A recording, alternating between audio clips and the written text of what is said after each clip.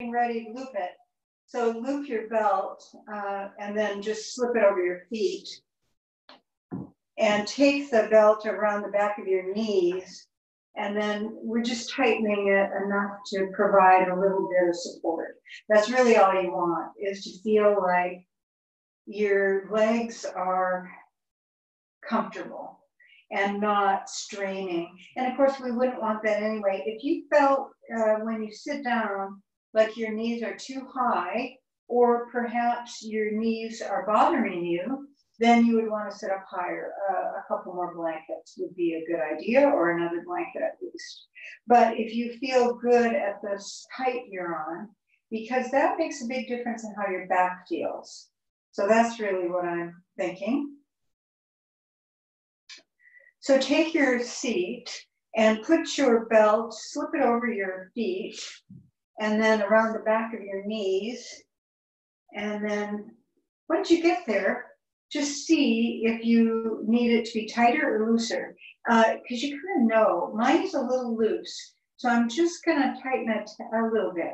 I don't wanna press my knees back toward each other. I want to support my knees relaxing away from each other. And that's a big difference between feeling constrained and feeling safe. So then put your hands on your knees, your thighs, and just draw your chest up. So from the center of your spine going up, feeling like the mid back is going up and in forward. But then to kind of help that along, we're going to take our chest, our, our collarbones, our spine slightly forward. So you're just leaning at an angle. Everything comes with you your head, your shoulders, your ribs, everything. But then once you get there, you think, could I get my collarbones a little higher?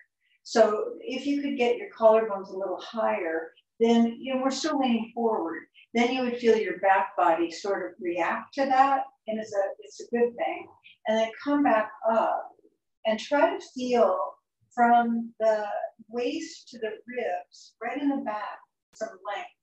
Create some length in the back area between your waist and your ribs. And then lift your ribs away from that action and roll your shoulders slightly back. I guess I, the real thing is to take your shoulders and, and just broaden them as much as you can and take the shoulder blades forward. So the shoulder blades are like little hinges practically. They, they could be straight down or they could be slightly forward, the bottom of them. And that's what we would want. The bottom of the shoulder blades slightly forward to support the lift of the chest. And that's a lot of discussion of sitting, but really this is important. So the sides of your feet, the cross of your shins, the knees being supported, that's all a big part of the base, as well as the sacral band the pelvis, the sacrum, and both of those are lifting up. The ribs are lifting away from that. And then bring your hands together in prayer. And then just don't close your eyes yet. Just have your hands together and have your hands right in front of your, uh, really it's the lower part of your sternum, not so much up, but a little lower. And then the elbows go down and the armpits go up and the chest goes up.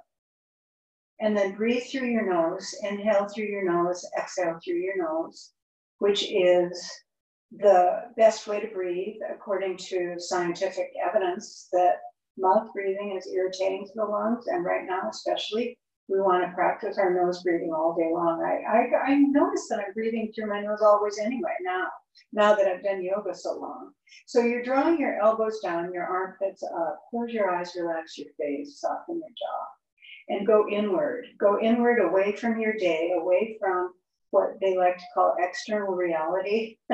but we know what that means. We mean all the things in the world that really don't have anything to do with our innermost self.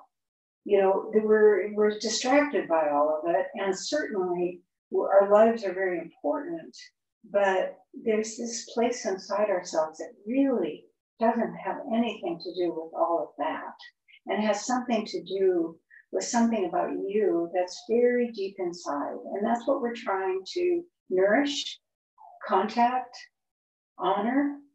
This is yoga for us, and it does a lot. And, and then when it does a lot for us, it does a lot for everyone around us, and we know that.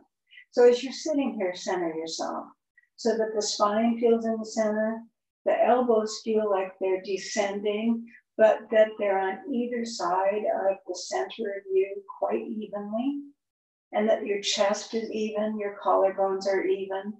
Pull your abdomen back, your belly button especially, and just go in, prepare for yoga. And then with your chest really well lifted, your heart really well lifted, bow your head to your heart. Bring your hands down to your thighs, palms up.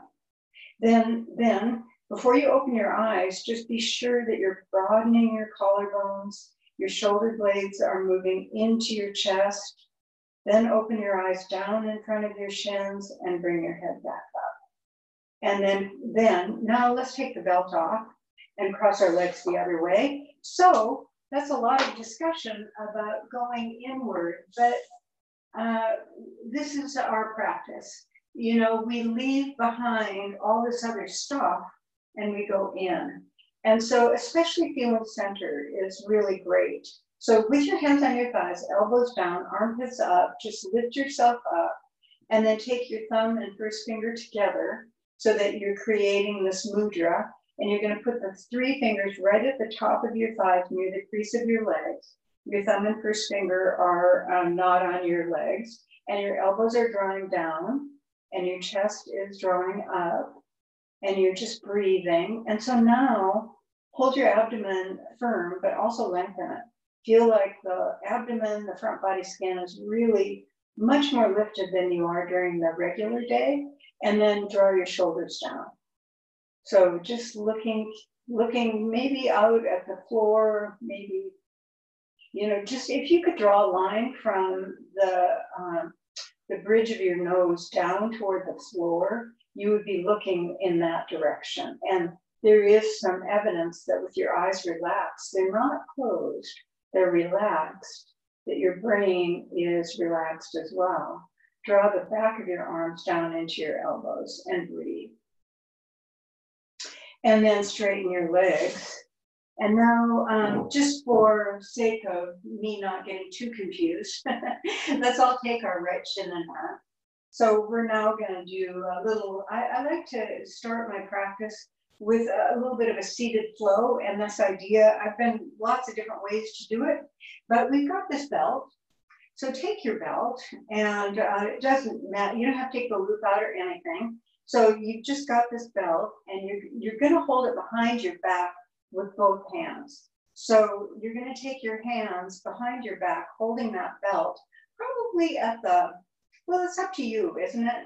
It's maybe to be safest, it's at the it's at the width of your hips. So your hands are at about that wide, and then draw your hands down toward the floor. So that you know behind your um, seating position beside your lift, you've got the floor. so reach down to the floor with your hands, holding that belt, and then lift your armpits up and hold your abdomen back and breathe. So this is um, seated cow. So this is that real nice back bending action. And then we're going to take our, so my blocks are beside me, but I just want to take my, your right hand down to the floor and your, and your other hand to your waist and we start this way to double check that our shoulders are okay with this. But as we're here, you know, we feel the curve, but the curve has to come on the right side of your torso as well. So first of all, put your left buttock down consciously. And then the next thing to do is lengthen from your um, sit bone all the way up to your armpit on the right side and curve.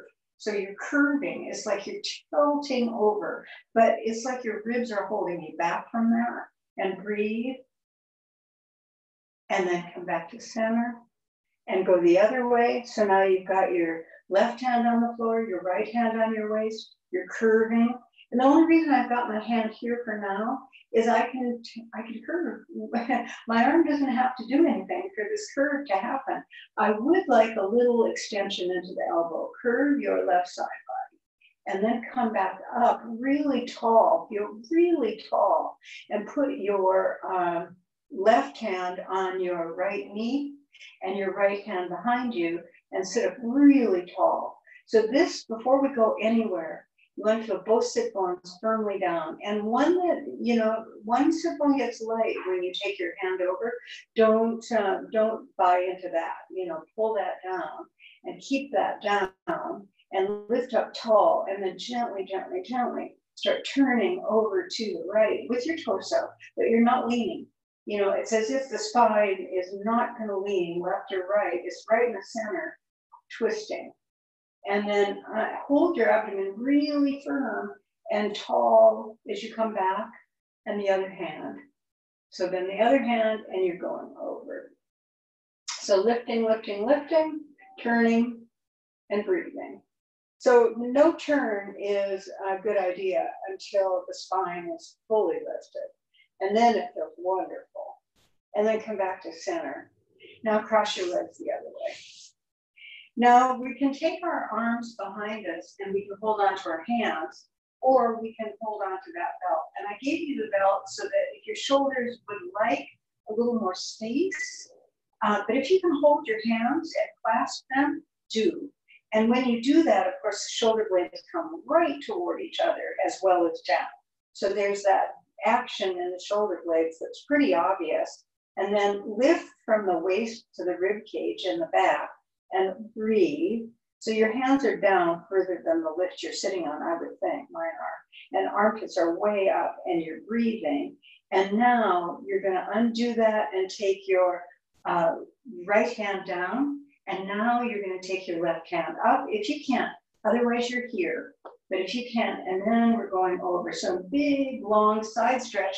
Get the same curve and length on your right side body that you're getting on your left and then come back to center and put your uh, left hand down and take your right arm up and curve over to the uh, toward the left. And when you're doing that, just breathe and then come back to center and take your left hand to your right knee, your right hand behind you, lift up strongly, turn. So we're turning toward our right, but not with any less attention to the left. It's like there's always room for someone else in your mind, and it's now your left buttock, and you're keeping it down, and now turn and turn. But really, from the left buttock to the right collarbone, feel like there's a connection through your body that you're that, that really helps the left side body. And then come back to center and take your right hand to your left knee, other hand behind you, lift up really, really tall really tall, start turning. So your right ribs now are coming forward, your left ribs are coming back, and both buttocks are down, both side bodies even, breathing, and then come back to center. Now straighten your legs out, and we're going to go the first way, which will be your right shin in front. So the practice today, and I think it's it's so nice because it's all about space opening. And this is what we need. You know, when I get nervous, and I know this is true for everybody, close down. Mm, no, let's just stay open, keep our spines lifted, bring your arms up. So stretch your arms up as high as you can. Now, maybe you're better like this. You know what I'm saying? You should think about your, let's start, let's make sure, let's make sure. Let's take our hands down to the floor and turn our thumbs back. So with the fingertips on the floor, thumbs turned way back, bring the arms up a little bit. So this would be just lovely if that's all you can do before your shoulders say no more, because it's your shoulders, your upper arms that may speak. As you bring your arms up, you're just testing the waters and you're testing your neck now. Is your neck able to stay lengthened and your shoulder skin rolling down? If you can bring your arms all the way up and that's still true, good. But you're always welcome to keep your arms a little wider for the sake of your neck, for the sake of your shoulders, draw your arms up, draw your arms way, way up. So I feel now like um, if I could hold on to a rope, you know, if I was at the wall and I had the ropes and I was holding on so that it was even more, more um, than I'd ever really could do on my own. But now, oh, I can do it on my own. Now turn your thumbs forward and bring your arms down. So all about space, opening, broadening, lifting, all the good things.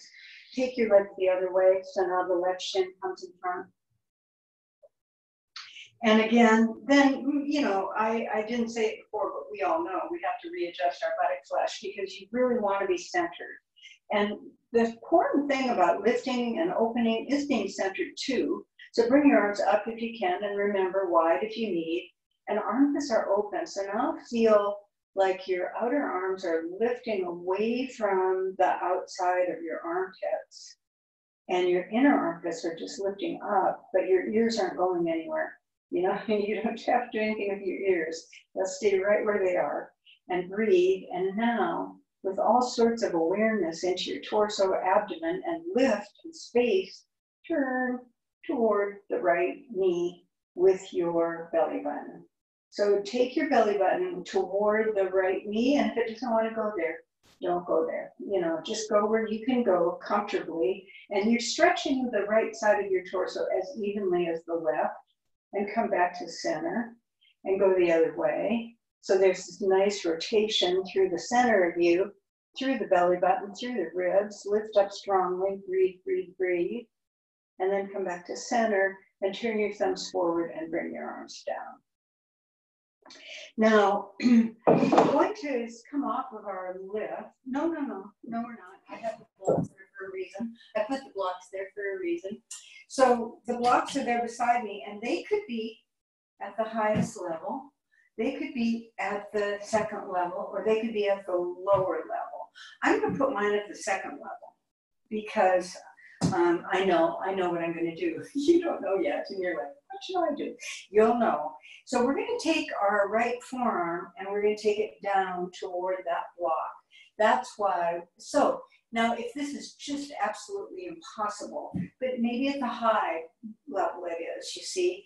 And this is Joe's little routine, so um, don't get mad at me. Um, the palm is up, the forearm is straight out of the elbow. So you see where you can, so of course the lower the block, the more you're tilting off the left buttock. Keep the left buttock down.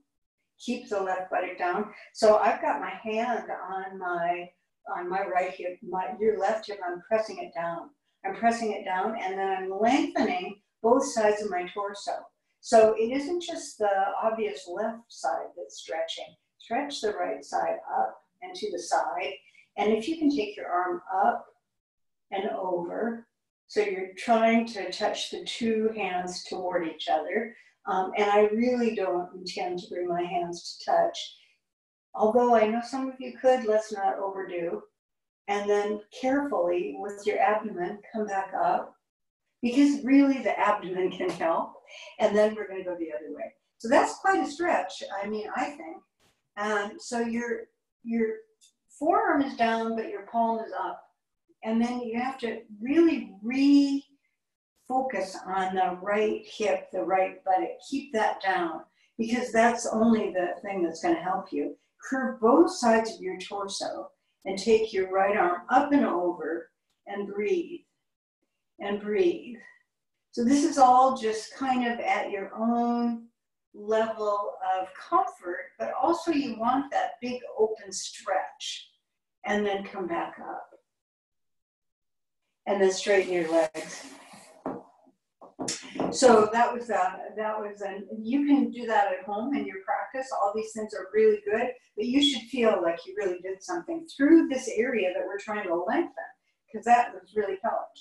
So now we're going to come away from the, all of this and we're going to lie down on the floor uh, on our back and we're going to take our blanket, one of the blankets and we're going to roll it up.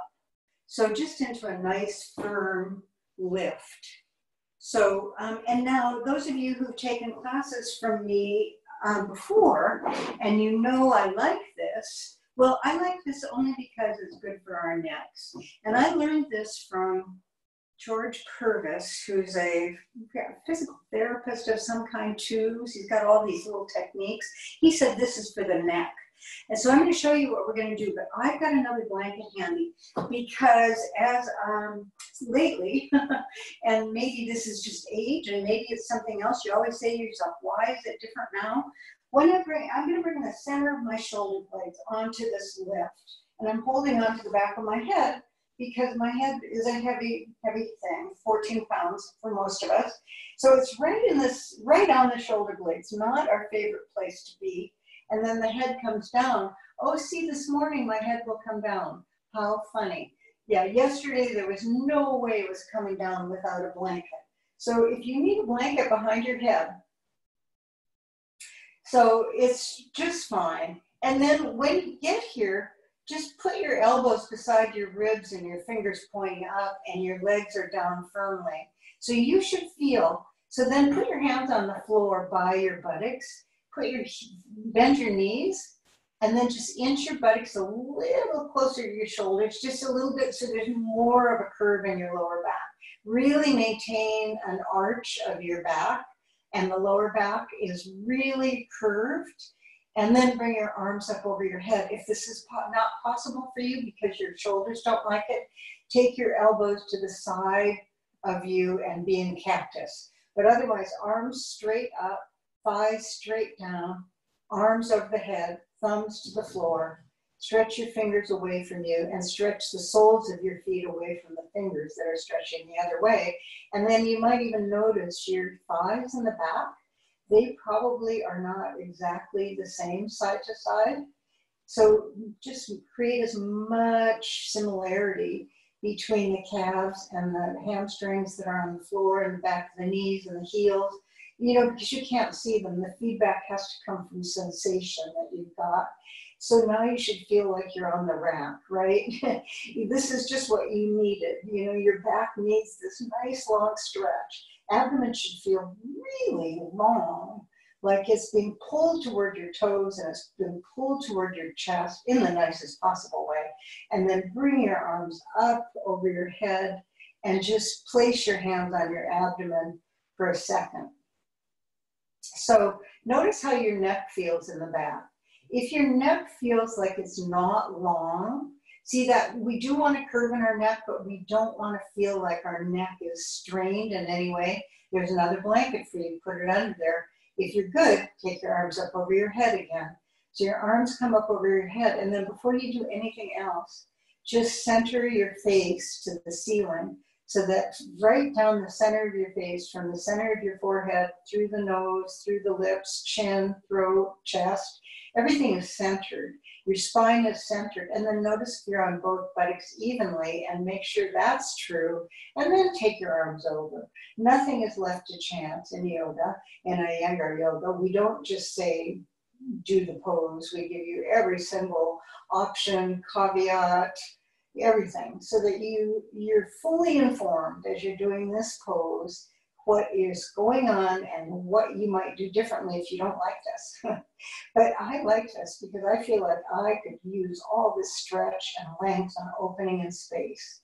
And then bring your arms back up and bring your hands down and then bend your knees and then roll over to the side onto the right side and then come up for a second. And take, if you had a blanket under your head, take that away. And then we're going to take our hands on one side of the roll and our knees on the other. And I'm just going to give you a little advice. Don't have your hands too close to the blanket, but don't have them too far away either. So I'd say give yourself two inches with your wrists in front of that blanket.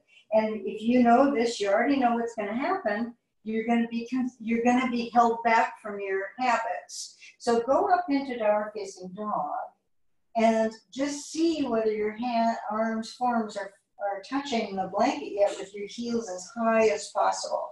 So right now, just take your heels up and your buttocks up. You can bend your knees for the sake of your hamstring and pull your shoulders up, but your ears don't change, you know. Your shoulders go up, your armpits get open, and then just start pulling your thighs away from you. And now your forearms are either on that blanket or they're smashing that blanket down because, you know, we're having to do work a little differently.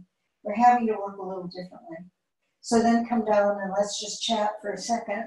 Um, so that is a, that's a way to work on problem that we all have in dog pose, which is we know we want our chest to come and our armpits to come toward our knees, but we sometimes do it by relaxing our elbows down too far because that's kind of where we think we should.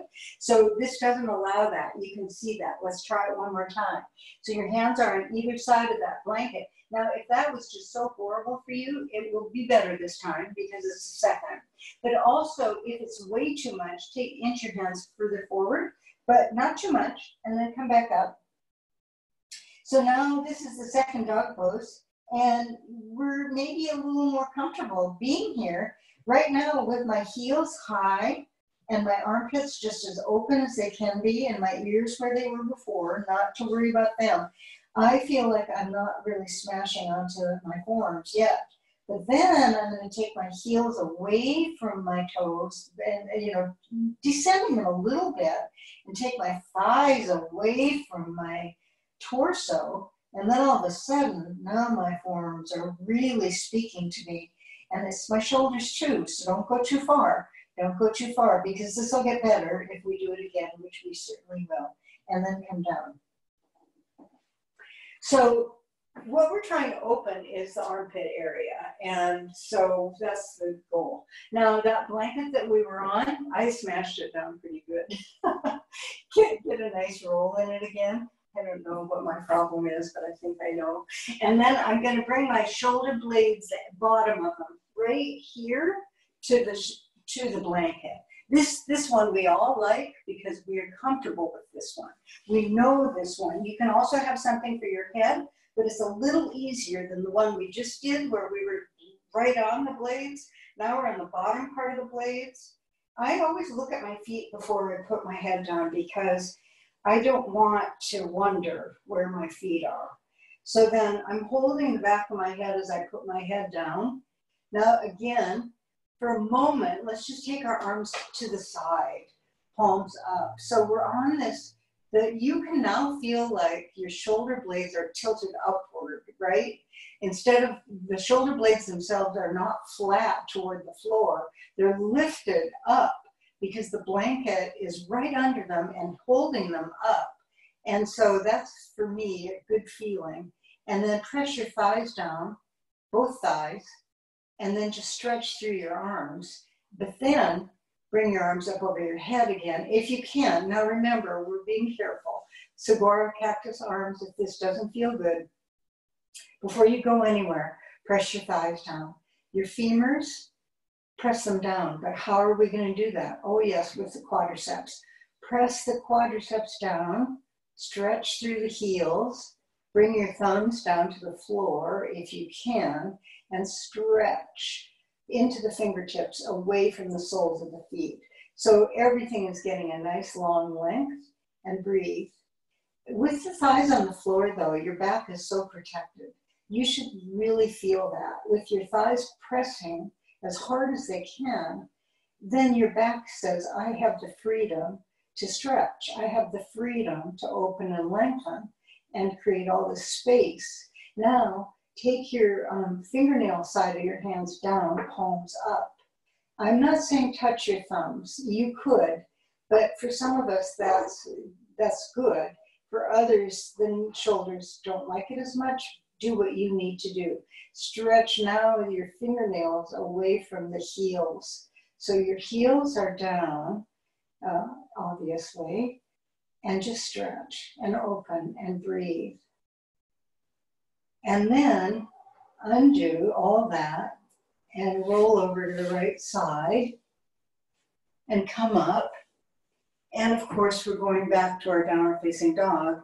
So I really promise you this one will be better because they just get better as we go, as we get more used to where we need to work.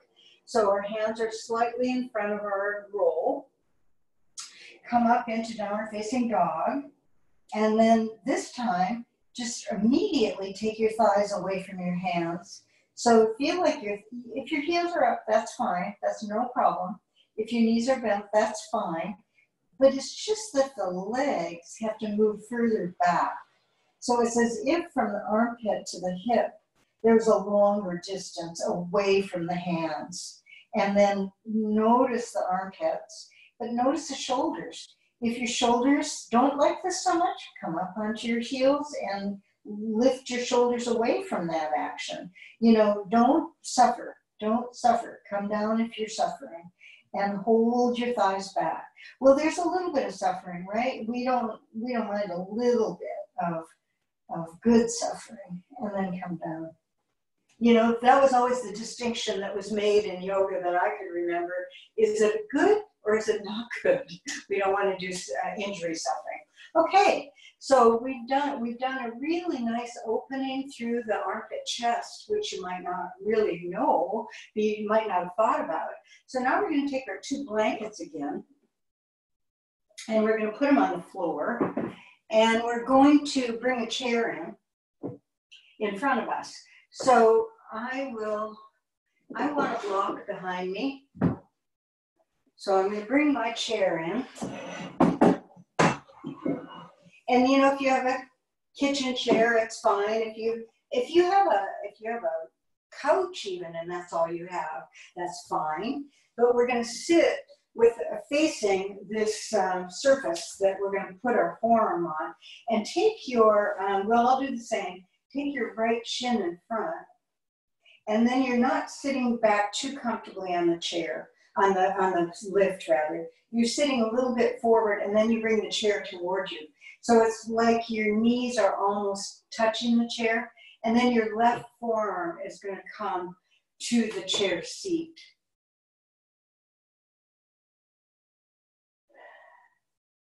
And then and then your your right hand is going to go back to the block. But before you, I at least I need a block because of my height, and you might not.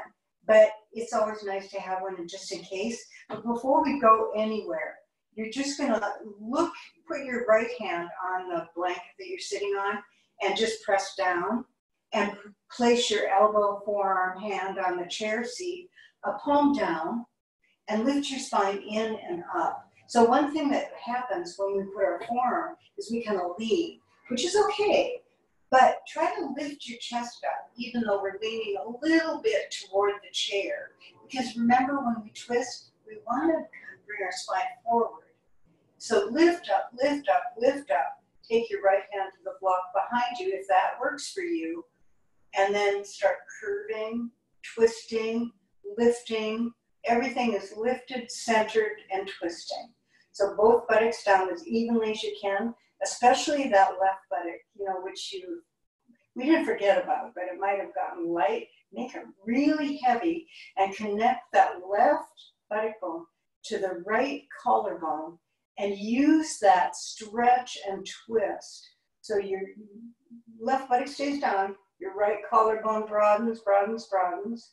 I haven't turned my head too much yet, uh, maybe more than I even should have. I think it's best not to turn your head until you're really lifted, and then you can turn your head maybe towards your right shoulder a little bit, and you'll know whether that's a good thing for you to do or not. And then hold your abdomen really firm and come back to center. So that's a pretty big twist. And now we're going to take our right forearm to the chair and our left hand behind us. But before we take the left hand behind us again, put your left hand on your left and then lift up really tall. So now I'm going the other way. So now my back is to you where my chest was to you before. Both sides are so important. The chest side and the back side and the side body too. Hips down firmly, hand on the back, uh, left hand is on the blanket to start with. Lift up, lift up, lift up, lift up. Take your hand to the block. Start turning toward the left. And then both sit are down. And it's now the right sit bone and the left collarbone. And they're little partners here as we twist through the center to the left. That right buttock stays firmly down and the right side body stays evenly up and we twist. And so just breathing and twisting, going where you can. So obviously the right ribs are coming toward the chair seat. The left ribs are going back toward the hand behind you. And the spine is right in the center and you're twisting. And then come back to center. And then straighten your legs out for a second.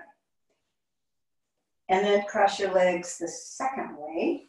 So now, just the second way, the way that you were, in case you weren't doing the same side as me, just the second way. And then put your left forearm down.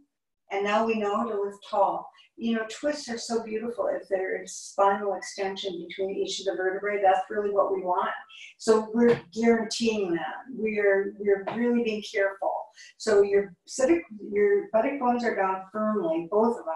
Your forearms on the chair, and that helps you. You don't have to push too much. You're just using it to lift your chest up, up, up, up, up. Your hand comes back toward the block behind you and start twisting. From the left sit bone to the right collarbone, all the way through the center of your spine. So your left ribs are coming toward the chair seat, your right ribs are going back toward the hand on the block. Your chest should be really even and just turning. And then, if it's available to your neck, because really your neck is going to tell you, you can turn your head a little bit toward your right shoulder blade, collarbone area. You know, your shoulder blade now is clamping downward, and your collarbone is broadening. So, if we had a clamp and we could clamp the shoulder blade down as we turned the collarbone, that would really be helpful. And then come back to center. That's an image provided by Birjoo Mehta. He would say, clamp the shoulder blade down. These two are partners as well. So now your right forearm goes over, your left hand comes behind. So now you can try to imagine that with your left shoulder blade is going down. It's really going down toward the ribs, toward the buttock. And then the collarbone is broadening. So the collarbone broadens, the shoulder moves down, and we start turning, turning, turning toward the left. We already know that we needed to lift. So we did that. So lift and turn and breathe and open and create all the space, the space between the vertebrae, the space between the two sides of the ribs. You know, just everything is really open. And then come back to center. And then take the block from behind you and come off of your lift. And we're going to put our hands on the chair and step our feet back. So whatever you, you were using for your forearm, you can use for your hands, and then step your feet back into a long chair dog. And then we're going to notice the difference between all the weight into our hands that we had before, right? Because in chair dog, the weight in your hands is much less than it was. And so, what I would think that would be best for all of us would be to bend our knees. I think everybody could, yes, because if you can bend your knees, yes, yes, that's beautiful. So, wherever your hands are, you're just bending your knees. Good, that's nice. And taking the spine inward, inward toward the chest. To yes, Yes. So the shoulders are moving away. And you know, you always have to be careful of your shoulders and your neck. So this is great. And breathe and breathe. Beautiful. Good. Bend your knees and step in and come up. And then we have a chair. So um, even if you just have a, a couch, this is fine. So, but I want you to sit up on something. And then we're, so I'm going to turn my chair forward and I'm going to put a block between my feet once I sit down on my chair. So I'm going to sit on my chair. I'll move the blankets so that everything is more obvious. So I've got a block. I'm sitting on my chair, but I'm not sitting on my chair as in a tea party. I'm sitting on my chair as in buttocks and the top of my thighs. So I'm just moving my chair back until my knees and my ankles line up. And then put your hands on it. If you're sitting on a comfy chair and it doesn't have side, if you have a yoga chair, of course, we all can take our hands to the bottom of the chair seat and lift our chest up away from that. But if you don't have that, you just just put your hands behind you on whatever surface you're sitting on and lift. So if you have a yoga chair, take your hands back to the chair back of the seat and hold that and lift up. So we're really lifted. And then bring your hands to your thighs. So now you feel really lifted, right? Now we're going to take our left arm up and our right, I'm mirroring you, and your right hand down. So now lengthen from the right hip to the right hand. Feel like there's all this space, but now lengthen from the left hip to the right, to the left shoulder using the hand. So there's two ways to get traction here. One is through lift and one is through pull. So pull and then bring your right hand down, left hand down to the block in front of you and your right hand to your sacrum. So you want to feel now like you're lined up between your thighs with your spine. You're not leaning over the right in any way. You're not leaning back to the left. And lift your, before you twist, lift your collarbone. So you're leaning forward. You're leaning forward and your collarbones are lifting and your shoulder blades are relaxing to the buttock area, toward that area, and start twisting to the right. And the breathing here is so important. Inhale through the nose, exhale through the nose, and just lengthen your torso. That's almost more important than the twist. Once you've lengthened your torso, then the twist is just beautiful. But if it's too short, you know, you end up being unhappy. We don't want that. Take your right elbow back. Take your left hand down, your right elbow back, and then undo, and then come back up. So if you get enough lift on these twists, the twists feel really good. But now we're going to take our right arm up and our left hand down. And do you see how you can pull your side body long using your arm pulling up? Or you can pull your long arm down and the torso resists that. So both sides of the torso should be equally long, doing very different things shoulder blade skin going down, breathing, and then we're going to bring our right hand down to the block in the center. And breathe. And then take your left hand and put it on your sacrum. But stay, and before you go anywhere, imagine that the crown of your head is extending away from your tailbone your tailbone is not on the surface of the chair because you're more on the hamstrings now. Don't you feel that? Your buttocks are kind of lifted. That's fine. And you're lengthening, lengthening, lengthening before we start twisting. So then as you twist, press into your right hand. Take your left elbow back. Keep your head in line with your spine. So don't be in any hurry to turn your head and lengthen your collarbones away from your uh, sit bones. So that consciousness into your collarbones comes from the base of the buttocks, the hamstring. Twist, twist, best you can. And then come back to center. So again, check your posture here that your knees over the ankles, the block right between your feet at the high level, your hands down, either down or on the chair, lifting up. You can even take your hands to the chair legs. Whatever works for you. We're just trying to create the biggest lift in our armpits that we can. And then we're going to bring both arms up really tall, really tall. And now, if this is available to you, you're going to take your left hand down to the block and the right hand back to the chair, uh, to the back of the chair, the top of the back of the chair. And then if you don't have that kind of chair, do your best. You can still keep your hand on your sacrum if you need. But if you've got your hand back on that chair rung, then you're going to use that and you're going to lean away from that with your torso. So you're holding really, obviously, you know, now I feel like if I let go with my hand, I would come flying off the chair. I'm using that arm so strongly. Chest, chest, chest collarbones lifting, abdomen firm. Now start turning toward the right with your torso, with your left hand down as resistance to the twist. So it's helping you. The, the left hand is helping you by being down, gives you some way to judge where you are, and then you're turning your ribs. Your buttocks don't change, your knees shouldn't change. Mine are changing a little bit. They shouldn't. And then just lengthen and twist, lengthen and twist. And breathe. Be sure you breathe in the inhale into the lift, the exhale into the twist. And then come back up.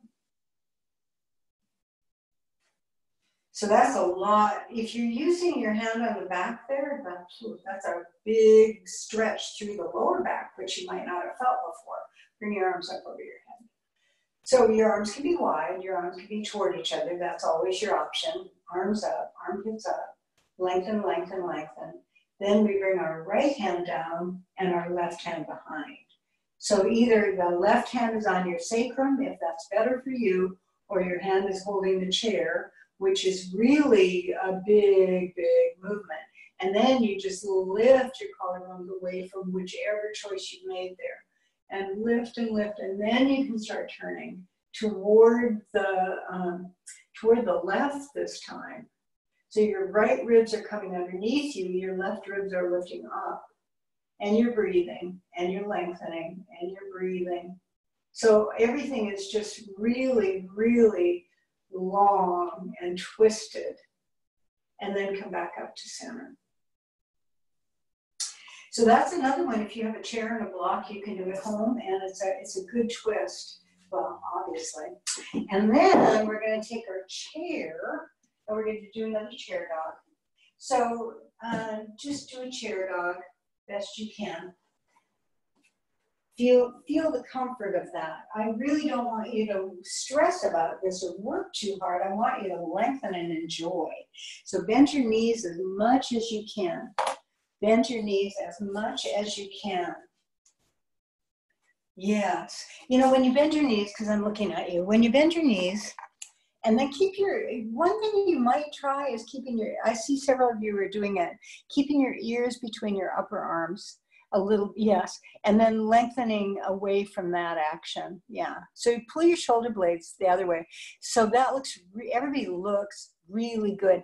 I think Riley, if you bent your knees, you'd enjoy your upper. Yeah, yeah, that that changed your upper back a little bit. That looks good. That looks beautiful. Breathe. Really nice. Really nice. Good, good, good and then come back up. So, of course, when we come back up, we're like, oh, that was a nice long twist. Now, um, now we're going to do a pose that I've been doing, but I didn't give an important instruction. Well, it's just a thought. So I'm going to turn my chair forward again. I want to make sure you can see me, so I'm going to check my screen. So can you see me? Yes, you can. Okay, so I've got a chair and I've got a sticky mat on the chair and I'm now going to put a blanket on the chair too. So uh, the blanket is going to go on the chair so that it provides a cushion to the side of the chair, to the front, you know, just provides a nice cushion. And then I'm going to sit on my chair just where the way we usually do, which is to say, uh, with the buttocks and the hamstrings, but not the entire hamstring.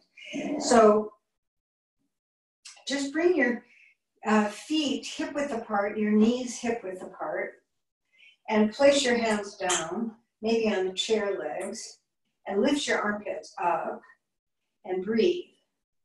So, but this nice cushion here, now you feel like you're sitting on something softer that's a little more protective of your sit bones, your hamstrings, and you're going to lift your armpits up and breathe.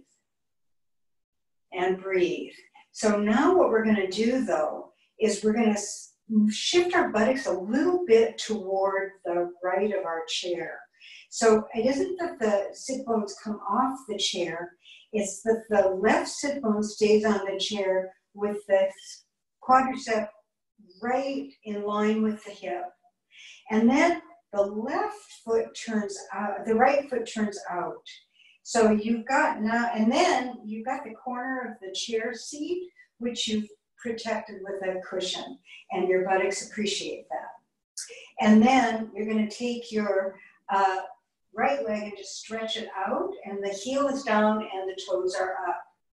And then you're going to put your right hand on your left knee. So this is gate latch pose sitting on a chair. So if we were in regular gate latch pose, this left knee would be on the floor, the left shin would be on the floor, right? But now the left, I'm mirroring you, but your left shin is not on the floor. It's, it's perpendicular to your thigh. It's just the way it would be if we were on the knee, but we're not.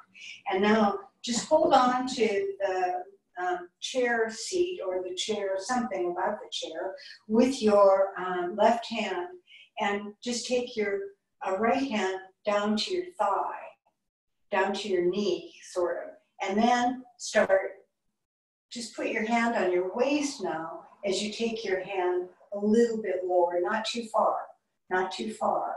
And if you've got a chair, you can even hold the back of the chair and take your hand, but it doesn't come too far because you have to keep your left, your right buttock down. You have to keep your right buttock down, your left buttock down, both buttocks down as you're going. And then you're going to come back up. I think it looks good. And you, and you don't have to be on the kneecap. See, some people's kneecaps just can't do that. So we're coming the other way. So now we've got, now, you know, it's like you just shifted your buttocks so that one buttock can be completely on the chair with the knee coming out of it, and the other knee turns away. So you're sort of like at a right angle with both thighs, and then you take your uh, left leg and straighten it. See, I don't feel like in gate latch pose, normal gate latch pose, to get my uh, extended foot down is so hard and to keep it up is so hard. This way it's just there. You don't have to worry about it. And take your left hand to the outside of your right knee just to uh, get the length and the awareness in both sides of the torso. Of course, that's not the direction we're going to go. And then you're going to take your left hand down to your left knee. You can hold on to the chair, the back of the, ch the chair rung. You're going to take your hand to your sacrum, whatever works for you. The idea, though, is to keep your chest um, lifted away from your ribs and also um, levelized best you can. And you're taking your uh, left hand down and you're holding them desperately onto the right buttock. well, desperate sounds bad, but we mean it seriously. And then come back up. Good. And then go to the first side. So see, I just move over a little bit. Both buttocks are still there. It's that the it's that the right buttock is at an is turned away from the left buttock a little bit. Don't you agree? The buttocks are kind of moving toward each other a little bit. Your heel is down, your metatarsal's up, you're looking toward your left knee. And so this is one thing that Iyengar said that I thought was so interesting. You know, something gets in your mind that he said, but he said each buttock goes with its own leg. And he said each leg goes with its own buttock. So in this case, the left knee is forward and the buttock is kind of like you're sitting normally, but the right leg is going off to the side, so the buttock has had to adjust to go with it. Now, breathe and take your arms to the side. And now, before you do anything else, put as much weight into your left buttock as you can. Sink that buttock down, lengthen your torso, turn your palms up. Spread through the armpits. Now, the thing that's going to be the balance here, the counterbalance to your right arm coming down, is going to be your left arm stretching away to start with, your left buttock and your left heel. Bring your right hand down. You're not going to fall over because you're pressing into your right heel, your left heel, I'm sorry, your left heel as strongly as you can. Take your right arm down. Take your left arm and stretch it away. So you feel like you're in this really extended side flank pose. It's a lot like Parsvakonasana, isn't it? Yeah, stretch, stretch, stretch. If you can take your arm over now, take your arm over. Don't forget the left buttock. Don't forget the left heel. Turn, lengthen, and then come back up. Bring your arms down. And then go to the other side. So it's not too far to the other side, right? Because you can't bring your left buttock off the chair. You just want your right buttock more in the center. And your right buttock and your knee are all lined up. That buttock is going with that leg. Now take your left leg to the side onto the heel. So now the, that buttock had to go that way. And it's happy to go along because it wouldn't be happy otherwise. This thigh right at the left thigh is rolling externally. You should feel that too. Into the inner leg. Stretch your arms And then now press your right buttock down so strongly. And it's funny how one buttock is a better protector than the other. This side, I have to almost force my buttock to stay down. And then the heel, and then the thigh, and breathe. And then this arm is going to resist too. Turn your palms up. Bring your left hand down. Stretch your right arm away. So you can see that the counterbalance of the weight here now is the two arms, the buttock, the heel of the left side is really, uh, the right side is really helping. Now, if you can take your arm over, you do, but you're doing it from the right buttock staying down. Right buttock staying down, breathing, breathing, breathing. And then come back up. All right, that is chair gate latch pose. Now, you can take the blanket off your chair, we're done with that.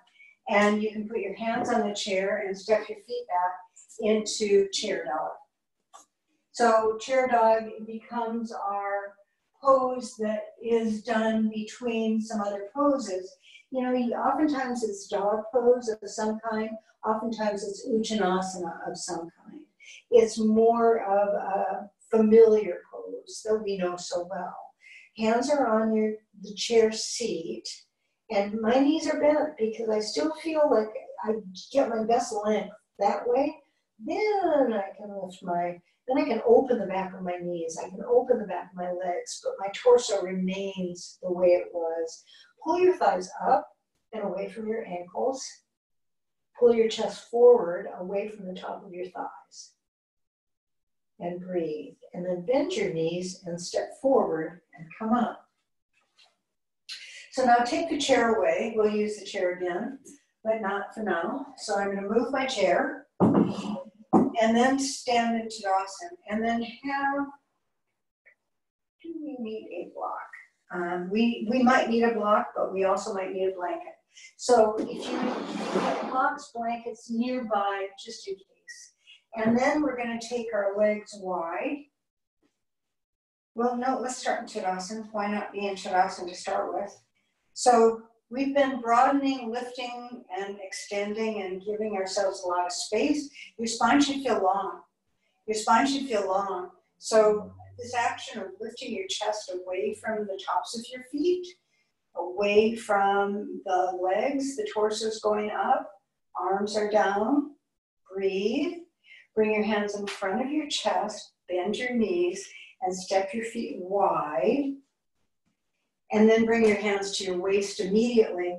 And when your legs are wide, for many of us, many of us, uh, one leg is less comfortable than the other. Uh, and if that's the case for you, and even if it's not the case for you, let's all do the same thing. So we're going to bend our left, our right knee a little bit. I'm just mirroring you. We're going to press every bit of weight into our left foot. So all, air all the weight's going to go to the left so that the toes, the metatarsals, the heels, the arches up, just press, press, press, press, press. Then do the same with the right foot. So both feet get such a connection to the floor that my hips are like, oh, thank you. And the femurs are kind of really moved inside the hip sockets, which is really great. Elbows back behind you, lift your chest, breathe, come forward, Prasarita Padottanasana, hands underneath you. This is where blocks come in. If you need blocks for your hands, blocks are fine. And your, but once your palms come down, your chest lifts forward. So you're, you're not leaning your hips forward, you're leaning your chest forward and your hips stay back. It's as if I have a, a, a something holding the top of your legs back as you lift your torso away from them and lift your chest up. So this is a back bend, and this is Prasarita Padottanasana 1. It is a back bend in the upper back, but it uh, really requires almost more length in the front body. So pubis stays back, chest moves forward, you're right in the center. This is a very centered pose. Both feet are down, both arms are down, both arms are strong. Lift your chest. Now, I need a blanket for my head because I'm going to put my head down now. Um, So I just know I will need one. So if you need anything for your head, that could be a block, that could be a blanket, but you then you move your hands back a little bit and you put your head down on the surface that you've provided for yourself. And then your back is more up and down, and your hands are back by your feet. Your elbows are right over your forearms and hands. You're creating a right angle with your arms. Uh huh. Good. Good, good, good. Yeah, yeah. So let the back of your neck soften. So whatever you're touching, then we, we just want to touch it softly. But just feel like your back, the spinal area is just relaxed. And you know, your legs are holding it. Your legs are doing everything. That looks really good. Really good. Nice. Now, we're going to straighten our arms and lift our chest again. So then when you come back to this next part, it's much more extended again. So your hands stay back, your chest lifts up, and your shoulder blades move back, and the skin on your shoulder blades move back. Your ears don't do anything. Your shoulders move back. Then, now you might have to walk your feet in a little bit, but if you do or if you don't, you're going to bring your hands to your hips. And then you're going to bring your feet back in, heel, toe, heel, toe. And then you're to stand into Tadasana again. That's Prasarita Padottanasana 1 and 2, which are very uh, calming. They should be calming. So now stand evenly on both feet into Tadasana. So as you're here, you know, now you're back to Tadasana. So now we're using Tadasana as our intermediary pose, as our pose that is sort of creating space between the other poses we're doing. So be on your heels as well as your metatarsals. And then so you're back into your heels, the top of your legs are back, because the top of the legs, they oftentimes want to come forward. So just be in your heels and then lift all your toes up. Lift all your toes up. And then you stretch your arms down.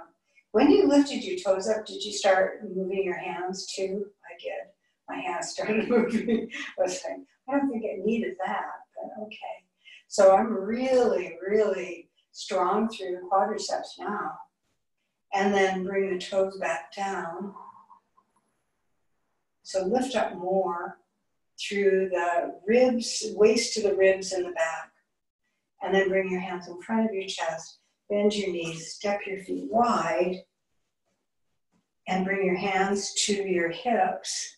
And now, probably your legs feel more comfortable being wide than they did before. But I would say also that you could bring your feet in a little more narrow if you need to, or if you felt like you could be wider, that's true too. So both legs should be quite long, elbows toward each other, chest up, halfway down with our torso, hands underneath the shoulders. So the hands are under the shoulders, chest is lifting forward. Now take, I'm mirroring you. Take your left hand to the center and put your right hand on your sacrum. So now don't go anywhere, just lift your chest away from your belly button. So your, the top of your legs stay back, your torso lengthens, breathe, start twisting to the right by lifting your uh, right ribs up and your left ribs underneath you, but don't change anything else. Don't change anything else.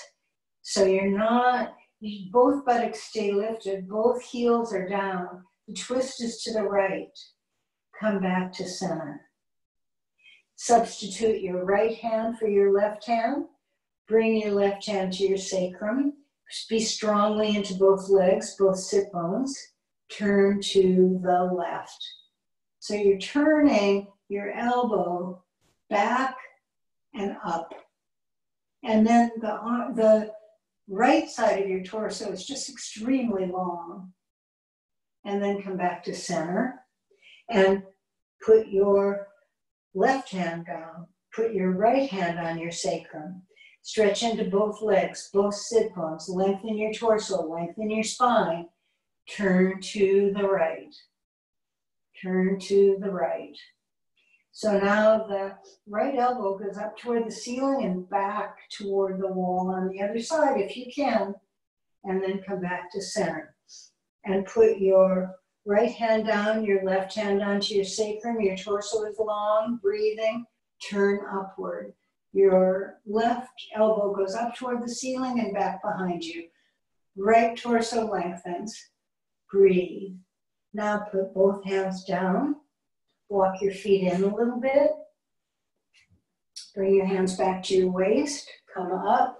Bring your feet together. Now, one thing that happens there is your head is down a bit. You know, we're bringing our head down. We're bringing our torso uh, parallel to the floor. It's just very different for our bodies. Arms down, arms down, Tadasana. Be in your heels, lift your toes up. Be in your heels, lift your toes up. Inner legs now. Feel like your inner legs are both stretching down into your inner heels and up into your um, groin area. So the inner legs are really long, outer legs really long. Place your toes back on the floor. Just see where you are balance wise. Lean forward, lift your heels up off the floor. Try to lift your heels up. And then come down. and then just put your hands on your waist, elbows back behind you. And with that, just take your legs wide. So wide again is a relative term because you want to feel comfortable. All we're going to do here is we're going to keep our prasarita legs and we're going to be in a dog pose arms torso. So your legs hold back, your arms walk out, your feet are parallel. Just stretch your arms away from you. Not a lot of weight in your hands right now. And then pull your thigh skin up. Pull your thigh skin up and stretch your torso as long as you can. Just a nice long, what we call a hybrid pose. Prasarita legs, torso is really long and you're breathing. Good, really good, really good. Now, just walk your hands back, walk your feet in, and carefully come up. So just carefully come up. Good, good. Now, um, we're going to lie down and we're going to have a block. So have a block and uh, we're going to just work a little bit on it. So just to tell you what we're doing. So we're doing um, a Setu Bandha, a little bit of Setu Bandha on the block. And then we're going to do a bit with that. And then when we're done with that, we're to lie on our back and we're going to do some back hip work okay? And then we'll go into Shavasana. So, but I always like to have some form of uh, an inversion into my practice, and it will be this today. So, having said all that, we're going to put our block to the side as we lie down on our back with our knees bent. So, just doing everything you know to take the shoulder blades toward the buttocks and to take the buttocks away from the waist. So you should feel like your shoulder blades are not flat on the floor. I mean, they are on the floor, but try to lift the bottom of your shoulder blades up into your chest just a little bit. I mean, it's not a lot yet. It's going to get quite a bit in a minute. Now we're going to take that block. We're just going to do the three options because I like everybody to have options. So we're going to first take the block at the lowest level under our, our sacrum. So when you do that, you know, this is the default option for lower back issues, but just notice when you did that, how your shoulder blades lifted up toward your chest a little more, right? Because you're, you've lifted your hips up and your weight has shifted toward your chest. And then what we'd really like is take your hands toward your feet and take your shoulders toward your hips and lift your chest way up over your throat. Well, that's the ideal. And breathe. And then press your, um, so now we're going to do something that is going to help us the rest of the Setu Bandha. We're going to press our heels down and we're going to contract our, um, our hamstrings. Feel like your hamstrings are not stretchy, but they're strong. And then press your heels down, lift up, and put the block at the second level. So now we're at the second level, which is where we could stay. And this would be just fine. It's right through the center of your sacrum, both sides of your sacrum. Or for a lot of us, we can go to the third level and we would like to. So if you would like to, you lift your hips way up and turn the block to the higher level. And you hear my voice change immediately because my throat now and my um, my throat and my chest are really getting to know each other. And that's a good thing. And my shoulder blades now are way up, perpendicular to the floor, right? So even if you're on the second level, do that. Create this length of the shoulder blades going way up. Now, so your hands could be um, interclasped behind your block. Your hands could be in a shavasana. Your arms could be in Saguaro cactus. Okay, you make your choice. It doesn't matter, and you could switch and try all three. Lift your right leg up. Now it's for the inversion. You feel when you lift your right leg up, the energy move toward your heart. And that's the whole idea of an inversion, is to change the energy away from the direction it normally is into the upside down idea, which the chest and the heart are prominent. Stretch your leg, stretch your right leg, inner leg, outer leg, everything. Bend your knee in toward your chest, bring your foot down to the floor. Contract your hamstrings. Your hamstrings should feel this is, if you have a hamstring injury, this is an excellent way to work on it. Bring your left knee in towards your chest, lift your left leg up. Now you're not contracting the left hamstring anymore because it's stretching. So the left heel goes up. Try to be on both sides of the sacrum evenly. Lengthen both sides of the torso. Lift your chest towards your chin. Breathe. The left leg is up. So you can feel the difference into your brain almost immediately. Um, and that is a, a well known uh, reflex. It's a relaxation reflex. It takes the weight toward your chest, toward your throat, and it softens the prefrontal cortex activity. Bring your left leg down. If it's available to you to bring both legs up, do. If you can bring both legs up, do. So this is what we call Setu Bandha with Viparita Karani. So as you if you can do that, otherwise mm-hmm. feet can stay down, one leg can go up at a time. There's options and breathe. But if both legs are up, that's fine too. Stretching your legs up and your chest toward your chin, your chest really toward your throat.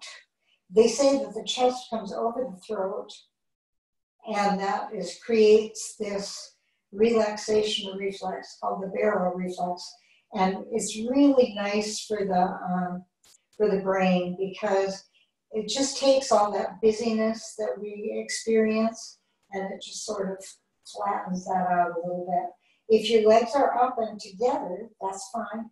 Take your legs wide if you can. Just take your legs wide and then bring your legs back up together. And then bend your left knee, take your left foot down, stretch your right leg up. Switch, take the right foot down, lift your left leg up, extend, bring both legs down. Now, now both feet are on the floor, just really contract your hamstrings and your abdomen, firm your abdomen, lift your buttocks up, take the block away to the second level.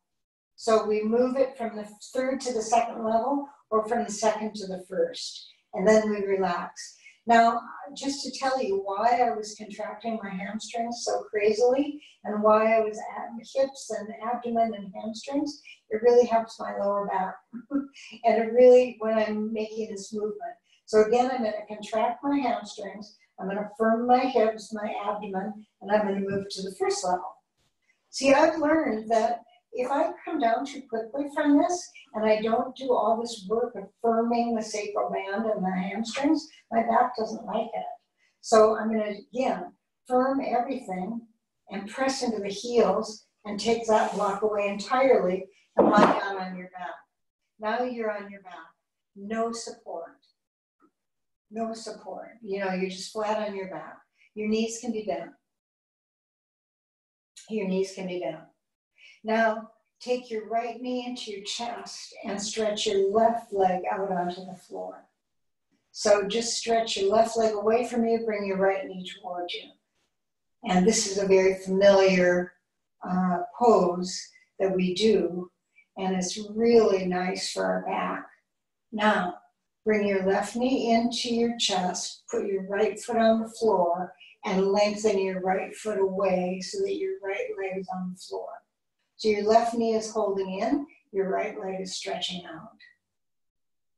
Now bring your left knee in, your right knee in. Both knees are in now. Both knees are in, and you're holding behind your knees and just pressing your thighs towards your chest. Just gently. It should feel really nice. This is not one of those, oh, this is too much. No, this is good. If it isn't good, don't do it. Just breathe. Now put both feet on the floor and then straighten your legs out into what we call a Supta Tadasana. So before I do that though, I have to bend my knees, put my feet on the floor, lengthen my lower back, then I straighten my legs. So then I kind of go side to side with my uh, weight on my buttocks. I want the weight to be on the lower part of my buttocks, not toward my waist. You should feel a curve in your lower back. You should feel like your thighs are pressing down and your metatarsals are straight, inner balls of your feet stretch away from your inner legs. So everything is really nice and long, and your arms are on the floor, and you're just breathing. Supta Tadasana. Now, keep that in your body, except take your arms to the side, palms up. I have to scoot. I want both arms to be equally stretched. Now, you're in Supta Tadasana with your arms to the side. Yeah, everything is good. Every adjustment you need to make is made. We all know how to adjust ourselves because we want our shoulder blades to move toward our buttocks, but we want our lower back to be curved, not to feel strained. Now, breathe, and you're going to uh, take your right heel, Achilles, between your left big toe and second toe, maybe or else you're just going to rest your right heel on the left metatarsal. You know, somehow, and it's kind of strange, I know. And then we're going to take our left hand to our right shoulder, and we're just going to keep it there, not to press, but just for support. And then breathe. Look at the ceiling. Look at the ceiling, because you're not going to be in a second. Look at the ceiling, feel centered, and come toward your left hip. You're using your right hand, right arms to stretch away, and you come toward your left hip. And so it's odd. And then you stretch toward both feet and legs. So really, and you'll feel the firmness through the hips. And then you come back down. And then take that foot away from your uh, toes, and then stretch your left arm to the side breathe, breathe. Because probably doing that, if you have not done that before, doing it took all your energy and you forgot to breathe. Now, pick your left Achilles heel up and stick it between your right toe, big toe, and second toe if it appreciates that. Otherwise, just rest it somehow. But don't let your right leg change too much. Now you're going to take your right hand to your left shoulder. You know, it's not doing much, it's just there. And then we roll toward the right, onto toward the right hip, maybe even onto the right hip.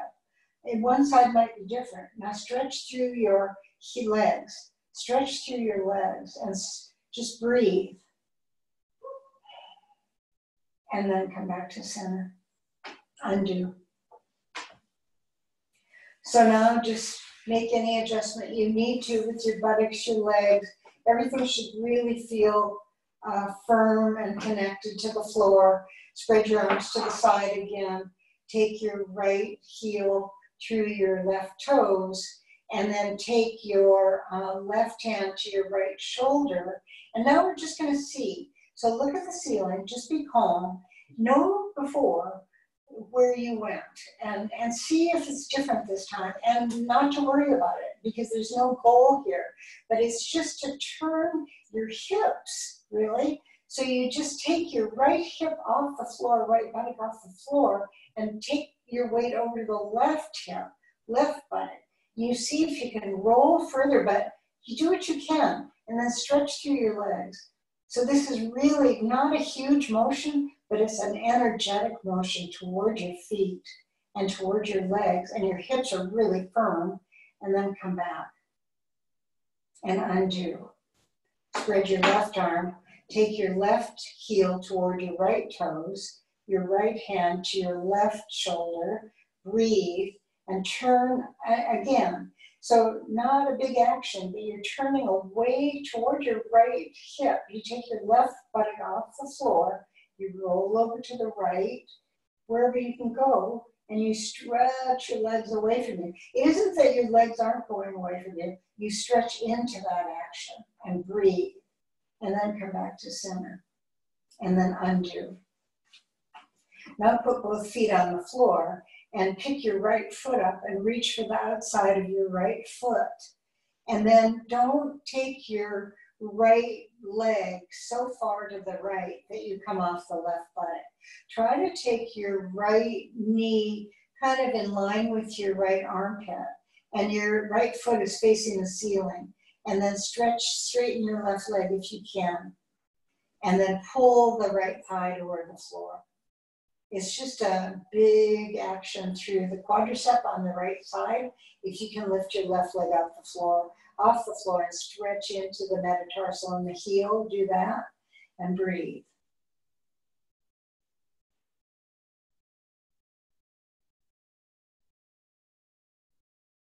And then replace, if you have your left leg off the floor, put it back on, and then bend your right knee, put the foot on the floor, stretch your um, stretch your right leg straight, and then bring your left leg up, left foot up, grab the outside of your left foot. You're trying to keep your right buttock down, but your left leg to the side, left thigh to the side, kind of the knee coming toward the armpit on the left side. Breathe. If you can lift your right leg off the floor to do that, and then press both directions. If your heel's on the floor on the right side, that's fine. But just stretch into the heel, into the metatarsal, and press the thigh down. Both buttocks stay down. Breathe. And then undo and bring your, um, bring your feet onto the floor. Now, take your left leg and straighten, no, take your right ankle across your left knee and then levelize your buttocks knowing that your left your left buttock wants to react. Don't let it react. Take the right thigh and rotate it externally. And then breathe and slide your left foot out onto the floor and take your right knee with you. So now you're in what we call Supta Janu Sirsasana. You're, it's not really Janu Sirsasana, but it is that angle with the right knee and the right ankle. And then so your ankle is resting over your knee and just try to restore some weight towards your left buttock as your right knee relaxes away from the ankle. It's a rotation at the top of your right thigh. And then hold on to the outside of your right thigh and just bring the foot back onto the floor. So your right foot is on the floor by your inner right knee now take your right foot over your knee toward the left side of your left knee. And then spread your arms to the side. And then try to levelize your hips. And then undo. Now put both feet on the floor, knees are bent. Take your left ankle across your right knee. Levelize your buttocks. I have to, I I have to do that because my buttocks are so uh, stubborn. They do whatever they want to do until I tell them otherwise. Rotate the left thigh externally. Slide the right heel out. You're taking your left knee with you when you come down. So now your shin on the left side should be parallel to the floor. Your left knee is not on the floor. You can take your arms to the, well, we don't need to that yet, but you're just stretching. You're in the Supta, Supta Janu Sirsasana.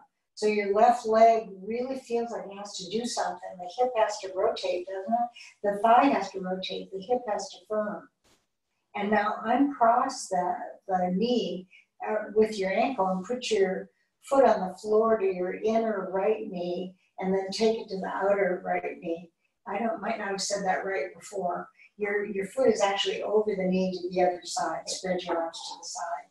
Lengthen your hips. Breathe. Now undo, put both feet on the floor, and straighten your left leg and bring your right knee in towards your chest. So you're holding onto your right knee or left leg. We know this one.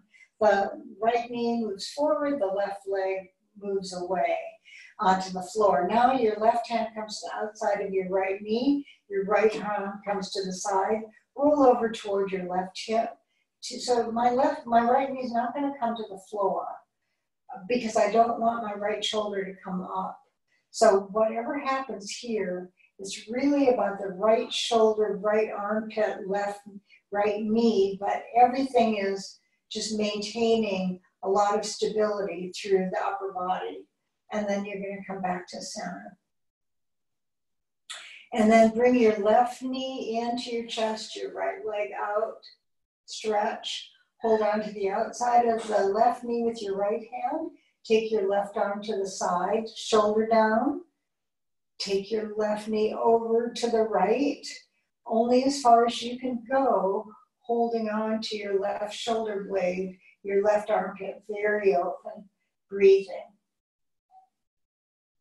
And then undo and Shavasana. So Shavasana can be uh, with a bolster under your knees, the chair under your shins, your legs up the wall, completely flat, anything that would feel comfortable to you because you know this pose and you know how you want it to be today. The most important thing is to get somewhere that you like and feel comfortable with.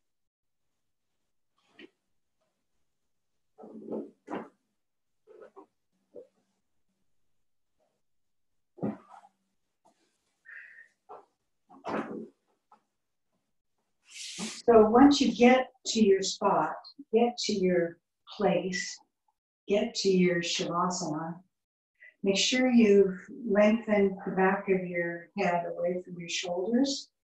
Just make sure that your neck feels soft and long and your shoulders are down and your collarbones are broad. So whatever we're doing, always that. We always want to feel like right across the chest, there's um, extension away from the center toward the armpits, toward the elbows, toward the hands. Just a nice, big, broad stretch across the chest. And when you do that, it also just softens and stretches a little bit the throat. So just just be in your body with your chest as broad as possible. Shoulder blades right underneath you breathing. Just your torso relax, soften. So we've been working with our torso, our arms, and our legs and our head, and now all of those will, will relax. So your legs are just feel heavy, outstretched from your um, torso, or up on a lift, or over a bolster. But whatever they're on, they're not working. They are completely relaxed, let go. Just let go of your legs. Let your legs be heavy, soft, and your arms stretch to the side, probably, or however you're doing this, but let your arms relax and soften. Your palms should be up. Breathe. Just start the breathing more consciously now. The inhale, the exhale. Just notice how soft it's getting. The breath gets softer as we lie down, but the breath is sufficient. It's just perfect, whatever it is. The back body uh, takes all the weight. Not that it's doing anything to take the weight, it's just relaxing and taking the weight. And the weight of our torso relaxes into our back body. So the feeling is heavy and really soft, really soft. Just letting go, letting go of everything. All the things we did. You know, during Shavasana, we, we give thanks for what we did, but we don't attach to it. We move away from that. We're, you know, what we did is what we did. Now here we are. And we are trying to soften, let go, go inside even more deeply. So this is the innermost self that we've been seeking, and it's right here.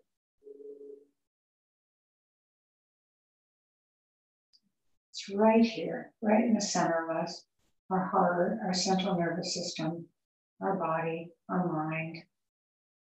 Everything is everything is in in integrated now into the softest relaxation, letting go.